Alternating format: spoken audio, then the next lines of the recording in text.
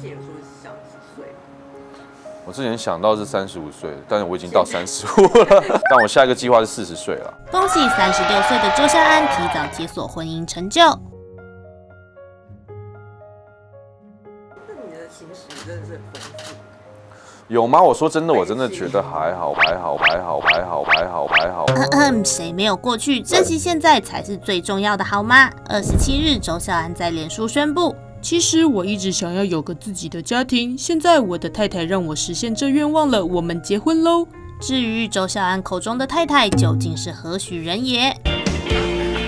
行，但记嘞，麻烦这边暂停一下，太太就是周小涵隔壁，在隔壁这位和他合作过《必胜大丈夫》的二十七岁女星陈天仁。我从小对爱情就是有幻想，就觉得哎。好想要遇到一个很好的人，然后跟他结婚啊，或什么的。然后他长大发现没有那么简单。爱情来得太快，就像龙卷风。俗话说夫唱妇随，陈天仁也同步在脸书告诉大家：谢谢能遇见和我相像的灵魂伴侣，每天都让我笑到肚子痛。事后，周孝安经纪人表示，他们过年前就已经登记了，但是因为疫情的关系，暂时还没有计划宴客。